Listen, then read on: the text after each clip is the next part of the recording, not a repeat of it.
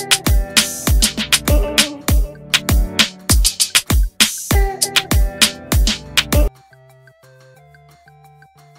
ูอุ้มย่าน้องเตยดีใจจนพูดไม่ออก สรยุทธขอส่งเสียน้องถึงปอ เอกโต้พ่อไม่เคยส่งเงินครูอุ้มย่าน้องเตยดีใจจนพูดไม่ออก สรยุทธขอส่งเสียน้องถึงปอ เอกเผยเลี้ยงน้องมาตั้งแต่ 8 วัน พ่อไม่เคยส่งค่าใช้จ่ายให้แม้ครั้งเดียว วันที่ 13 มิถุนายน 2566 น้องเตย อายุ 4 ขวบนักเรียนชั้นอนุบาล 2 โรงเรียนบ้านมะขามทานตะวัน ตำบลตาเสา อำเภอห้วยราช จังหวัดบุรีรัมย์ กลายเป็นเด็กหญิงที่มีคนให้ความเวทนาและสนใจในช่วงเวลาข้ามคืน หลังจากนางสาวพัชรินเอสตี หรือครูอุ้มครูประจำชั้นของน้องเตยถ่ายคลิปขณะน้องกำลังล้างจาน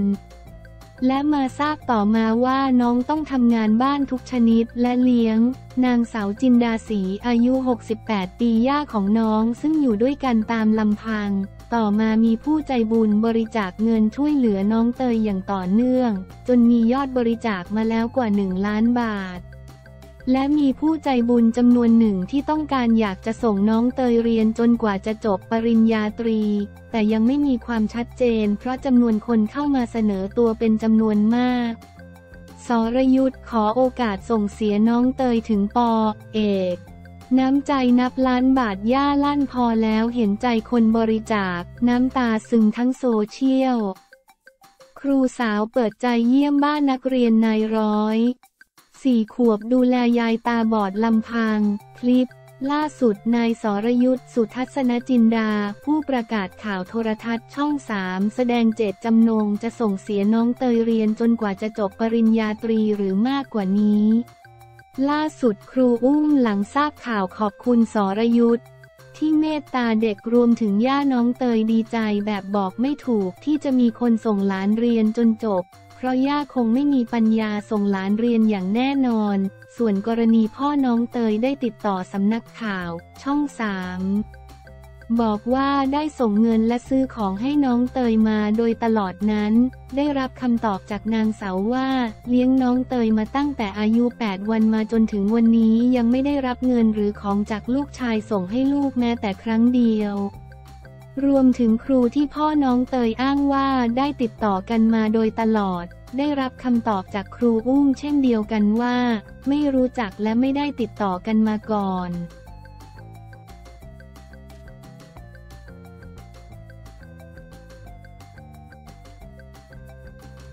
เบสโตเซ็กซี่ประชด ตรงๆมูฟออนอดีตไม่ติดร่วมงานรับชอบคนดูดีมีคนจีบ คิดว่าจะเจอที่งานนี้ไม่ติดร่วมงานได้เบสโต้เซ็กซี่ประชดโตงโตงมูฟออนไม่อยากพูดถึงอดีตยอมรับชอบคนดูดีตอบมีคนจีบ มูฟออนได้แบบ 100%แล้วหลังจากที่นักแสดงและยูทูบเบอร์สาว เบสรักษ์วนีย์คำสิงห์เลิกรากับแฟนหนุ่มโตงโตง กฤษกรกนกธรล่าสุดวันที่ 12 มิถุนายน เบสเดินทางมาร่วมชมรอบปฐมทัศน์ละครเวที พิศสวาทเดอะมิวสิคัลที่เมืองไทยรัชดาลัยเธียเตอร์ก่อนเข้าชมการแสดงเธอได้เปิดกับสื่อมวลชนว่าตอนนี้ชีวิตแฮปปี้สุดๆ ไม่อยากพูดเรื่องเก่า พร้อมทั้งชี้แจงเรื่องที่ถูกแซะว่าเดี๋ยวนี้พยายามเซ็กซี่ เพราะประชดแฟนเก่า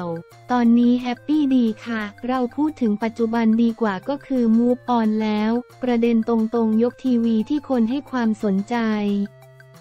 หนูไม่อยากพูดถึงอะไรพวกนี้แล้ว ทุกอย่างก็อย่างที่ทุกคนทราบกันดี ของเขายังอยู่ในบ้านอีกเยอะไหม อันนี้ต้องไปถามเขา เพราะไม่ได้อยู่ตอนที่เขาเก็บแล้วตอนนี้ใจเราเป็นยังไง แฮปปี้มากค่ะ คือตอนแรกอหนูคิดว่าจะเจอเขาที่งานนี้นะคะ ก็คิดว่าร่วมงานได้ ไม่ติดอะไรเจอได้ค่ะ ส่วนเขาเราไม่รู้ก็ถ้าเจอเจอได้ค่ะ เจ็บใจไหม ไม่ไม่ค่ะ โฟกัส ปัจจุบันแล้วก็อนาคต หลายคนมองว่าเราเป็นคู่ที่หวานมาก เห็นภาพเก่าๆ มันเสียดายหรือรู้สึกยังไง มันก็น่ารักดียิ่งกลับไปดูรูปเก่าๆ ที่เห็นแฟนคลับแชร์มันก็น่ารักดี คือเรามูฟออนแล้วเราก็สามารถเจอได้หมด ดูได้เห็นได้ไม่รู้สึกอะไรแล้ว ความรักที่ผ่านมามันให้อะไรเราบ้าง ก็ให้แต่มันไม่ใช่ว่าเราจะต้องบูลลี่คนใหม่ เราก็ไปเรียนรู้คนใหม่ดีกว่าค่ะ ส่วนคนเก่าก็ส่วนคนเก่ามีใครแนะนำให้ไหม ที่พี่ต้องแนะนำหนูคนจะมองว่าสเปคเดิมเราชอบคนหล่อไม่ค่ะ จริงๆ ไม่ใช่เป็นคนที่ชอบคนหล่อหรือว่าขาวอะไร แต่ถามว่าหล่อไหม ก็แบบดูดีมันก็ปฏิเสธไม่ได้ หลายคนมองว่าเซ็กซี่ขึ้น เพราะประชดตรงๆ ไม่ค่ะ ทะเลหนูอยากไปตั้งนานแล้ว อยากไปตั้งแต่ตอนมีแฟนแล้ว แล้วตอนนี้ก็ไปกับเพื่อนสุดท้ายแล้วมีคนเข้ามาจีบบ้างไหม ไม่บอก แสดงว่ามี ไม่บอกค่ะ ยิ้มหัวเราะ ไม่มีหรอกไม่มีค่ะ เราค่อยๆไปไม่รีบสเปคเราเป็นแบบไหน ไม่ได้ฟิกว่าจะต้องเป็นแบบไหนใครก็ได้ค่ะ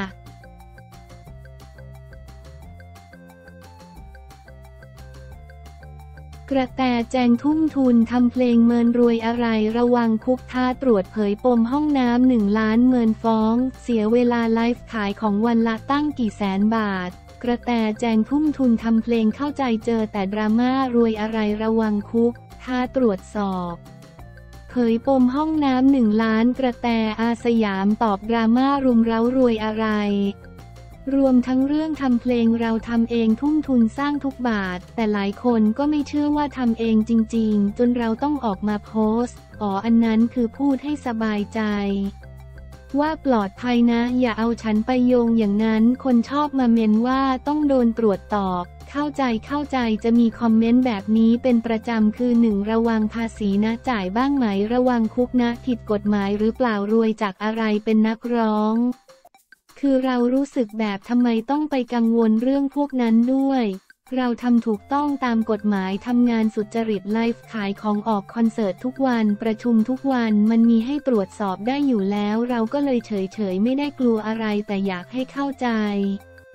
เวลาเรามีเวลาเราประสบความสำเร็จอยากให้ยินดีกับผู้อื่นบ้าง ยืนยันว่ารวยสุจริต ไปตรวจเลยจ่ายภาษีทุกเดือนนะ มีคนมาถามเดี๋ยวนะ ภาษีเขาจ่ายกันทุกเดือนเหรอแน่ไม่ได้เปิดบริษัทไม่รู้สินะ หัวเราะจ่ายทุกเดือนจ้ายื่นทุกเดือน เรามองคอมเมนต์พวกนี้ยังไงบ้าง มองว่าเขาไม่ได้อยู่ในจุด เราเขาไม่รู้อะไรหรอกมองว่าเราเป็นมนุษย์คนหนึ่งที่ใช้ชีวิตปกติ เราไม่อยากเสียเวลากับการต้องไปอธิบายคนอื่นที่เขาตัดสินไปแล้ว คนพวกนี้ตัดสินแล้วนะ ไม่งั้นเขาไม่เน้นเสียเวลามากเลย แตรรู้สึกว่าเกิดมาชีวิตคนเราเหมือนฝุ่นเล็กๆ ที่อยู่ในจักรวาลเราเป็นมนุษย์ตัวเล็กมาก จะเบียดเบียนกัน ทำไมไม่รู้เราก็เลยรู้สึกว่าเราก็อยู่ในกลุ่มของเราในบ้านเราที่อยู่แล้วมีความสุขในชีวิต ไม่ต้องไปเดือดร้อนใครจะเป็นยังไงก็ปล่อยเขาเราสนุกเรามีความสุขของเรา แล้วสุขภาพจิตเราที่ต้องเจอคอมเมนต์แบบนี้ล่ะ ตอนนี้มีความสุขมาก บ้านเราเป็นคนไม่เครียดเวลาเราลงคลิปอะไรลง เพราะอยากให้ทุกคนรู้เฉยๆไม่ได้ลง เพราะว่าฉันเหนื่อยฉันท้อแล้วนะ แล้วที่เราลงรูปว่าทำห้องน้ำหนึ่งล้านเพราะอะไร ลงเพราะว่าเราอยากได้คอนเทนต์ค่ะ หัวเราะ ตรงไหมทุกคนอยู่ในวงการทำรีวิวบ้านก็ไม่ใช่แตรคนเดียวที่ทำ ดาราก็ทำกันเยอะแยะเมืองนอกเขาก็ทำกันหนึ่ง เหตุผลแต่ก็ต้องอยู่ในวงการและแตรก็ต้องมีคอนเทนต์มีคอนเทนต์เพราะจะได้ให้คนมาติดตามช่องทางเรา และนี่ก็ถือเป็นอีกหนึ่งงานของเราการรีวิวบ้าน รีวิวอะไรก็เป็นงานเราสอง เราถ่ายเก็บไว้อีก 100 ปี เราก็กลับมาดูได้ว่านี้บ้านเรา เป็นความสำเร็จของยายนะ ลูกหลานจะได้เห็น เราคิดจะฟ้องคนที่คอมเมนต์แรง เสียเวลาไลฟ์ขายของวันหนึ่งได้ตั้งกี่หนึ่งแสนบาท ถ้าฉันต้องไปขึ้นศาลกับเธออย่างน้อยไม่ต่ำกว่าสิบครั้งหายไปเท่าไหร่ เพราะฉะนั้นฉันไปไลฟ์ขายของดีกว่า เพราะฉะนั้นฉันไม่มานั่งฟ้องหรอกอันนี้เรื่องจริง ไม่กลัวทัวลง ปล่อยเลยมารุมสิมาเชื่อไหมใครที่ไม่ชอบแตรมาฟังบทสัมภาษณ์แตร เขาก็คงจะมึนทั้งวัน เพราะเขาก็เกลียดเราจนวันยังค่ำต่อให้เราดีแค่ไหนอันนี้เรื่องจริง แต่คนที่อยู่ข้างแตรเขาจะรู้ว่าเรารักทุกคนเราดูแลทุกคนเรามีแค่นี้พอคนอื่นไม่เข้าใจก็ไม่เป็นไร อัปเดตเรื่องบ้านเสร็จหรือยัง เหลือ 20%สุดท้ายแล้วเหลือเทวาลัยทำยากนิดหนึ่งเพราะใช้มือแกะสลักทั้งหลัง รวมแล้วบ้านหลังนี้ 100 ล้าน เกินไปแล้วแต่ไม่ได้นับว่าเท่าไหร่มีก็โปะไป เพราะพวกบิวอินต้องจ่ายสดเลย บ้านหลังนี้จุดไหนที่แพงที่สุด ห้องเทวาลัยกับห้องลิฟวิ่งรูมข้างล่าง ห้องเทวาลัยถ้ารวมองค์เทพด้วยน่าจะ 15 ล้านบาท องค์เทพตอนนี้เสร็จเรียบร้อยแล้วหรือยัง ยังเลยแตรต้องบินไปอินเดียสั่งปั้นมาจากอินเดียเป็นเทพองค์พระแม่กาลี อันนี้เป็นความเชื่อส่วนตัวของเราเอง เครียดอะไรมาก็ไปคุยกับองค์แม่ เป็นปางไหน เป็นปางที่ในไทยไม่มีอุบไว้ก่อนถึงบอก ที่อยากได้ปางนี้ เพราะฝันเห็นแล้วในอินเดียมีปางนี้จริง ๆ พระแม่อุมามีเป็นพันปางเลยค่ะ ส่วนมากที่บ้านเราเห็นจะเป็นปางที่ยืนและเหยียบองค์ศิวะ ซึ่งก็ชอบนะ แต่รู้สึกว่าคนไทยที่ไม่เข้าใจจะมองว่า ดูดูร้าย คนชอบมองว่าบูชาองค์นี้ผัวรักผัวหลงข่มผัวได้คนชอบคิดแบบนั้น แต่จริงๆ ไม่ใช่เลย แต่เรารู้สึกว่าแม่กาลียืนต่อสู้มาทุกปางเลย เรารู้สึกว่าเราขอมาแบบสวยสบายและรวยบ้างไม่ต้องไปต่อสู้ค่ะนั่งเฉยๆเหมือนเราเคยเล่าว่าเราสัมผัสได้กับองค์พระแม่มานานแล้ว